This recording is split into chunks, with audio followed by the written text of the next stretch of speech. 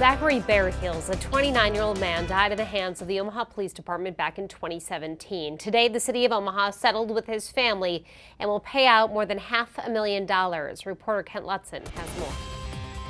Uh, I believe the handling of the killing of Zachary Bear Heels has and continues to be a gross miscarriage of justice. The Omaha City Council approved a $550,000 settlement for the family of Zachary Bear Heels, a Native American man who died in Omaha police custody after being punched and tased repeatedly. Many in attendance at Tuesday's settlement say no amount of money will bring Bear Heels back. Where is the accountability?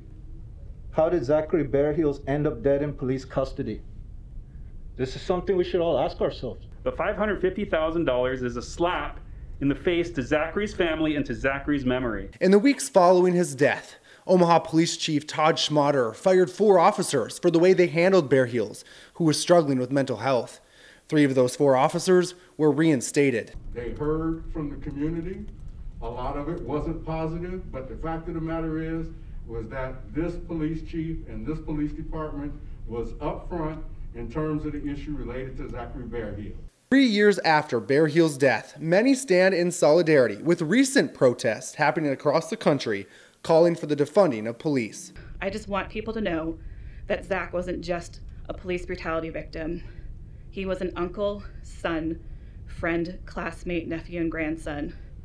They ripped our family in half and left us in pieces. I pray no family ever has to feel this again. I want those officers to be criminally charged. In Omaha, Kent Lutzen, 3 News Now. An autopsy attributed Bear Heels' death to excited delirium. None of the officers involved have been convicted.